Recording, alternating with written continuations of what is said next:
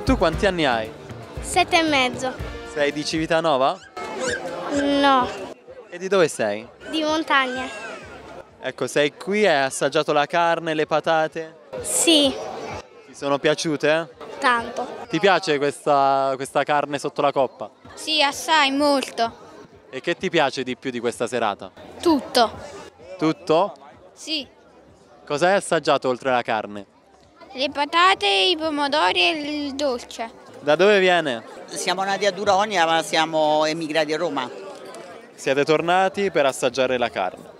No, no, ci ci siamo proprio venuti perché questa è la nostra tradizione anche di Duronia, no? Sotto alla coppa queste cose, questi sapori antichi. Sapori antichi di una volta quando magari le nonne cucinavano al camino. Madre, Anche mia madre, e li stiamo cercando di, fa- di farlo anche noi veramente, stiamo cercando. Non so la riuscita com'è, ma vogliamo farlo anche noi perché siamo legati a queste tradizioni. Ecco, però qua a Civitanova hanno un ingrediente segreto, quindi questa è la sera giusta per fare il colpaccio. Rubiamolo questo ingrediente. Voi lo sapete? Non lo sappiamo, però se vuole possiamo andare insieme a scoprirlo. Come no? Lo vogliamo sapere, eh, certo. Di dove sei? di Pescara. Allora, a Pescara avete le rustelle, questi arrosticini, però a Civitanova noi abbiamo la carne sotto la coppa. La coppa, sì, molto buona, molto buona. Cioè, non so se c'è concorrenza, però... Al pari di queste rustelle. Eh, non lo so, questo non lo so. Però molto molto buona. Era- Sei combattuta nel cuore. Sì, sì, sì, sì, sono quasi civitanese adottata. Dalla California fino in Italia anche per assaggiare questi piatti della tradizione. Tradizione, eh. Io non lo sapevo che c'era questa stasera qua. Vengo qu- quasi ogni anno qui in Italia e non lo sapevo questo. Questo è bellissimo. Quindi è la prima volta. La prima volta, sì. E come le è sembrata questa esperienza? È troppo buona. Siamo con eh, la signora Antonietta, una signora volontaria. Un grandissimo lavoro e la vostra ricompensa è vedere Civitanova del Sagno piena di gente poi questa sera. Eh, la nostra soddisfazione è proprio vedere arrivare tante persone che continuavano anche in tempo di Covid a mandare messaggi e chiedere ma le fate, le fate le patate sotto la coppa, le fate? Abbiamo avuto un sacco di telefonate anche questi giorni per eh, avere i biglietti, per sapere con certezza, quindi è stata proprio mh, richiesta questa manifestazione e noi siamo talmente orgogliosi di questa cosa perché veramente è un evento che volevano un po' tutti, è una ripartenza per il nostro paese che ci vuole ripartire, eh, altrimenti le cose vanno a finire e, e non va bene. Allora è il momento di lanciare un appello alla partecipazione dei più piccoli, dei giovani. Chiediamo loro di continuare a portare avanti questa tradizione che è bellissima, identitaria per Civitanova del Sagno. Sì, questo è un appello che vorrei fare alle ragazzette, ragazzine che ci sono, che non è detto che devono essere impegnate a fare proprio tutto, ma anche se danno una mano, se cominciano a vedere come sono fatte queste cose, è un bene per loro, per portare avanti questa tradizione, perché se no altrimenti veramente il paese finisce, finiscono le tradizioni, finisce tutto.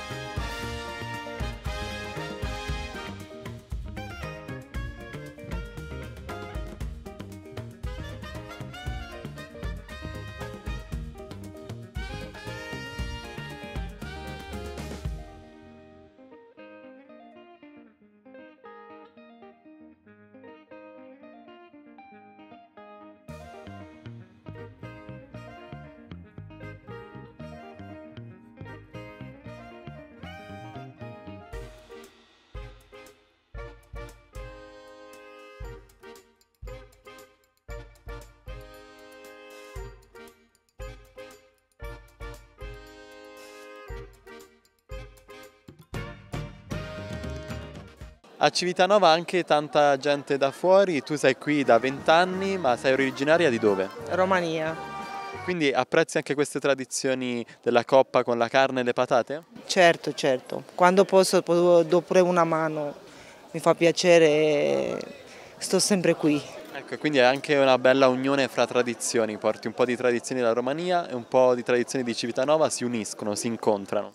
Diciamo di sì, però è più Civitanova, dai, che è meglio ed è migliore. Ti piace questa manifestazione? Certo, certo, certo, senz'altro. Siamo con due volontari, siete già all'opera con la cottura delle salsicce, come sta andando Monica?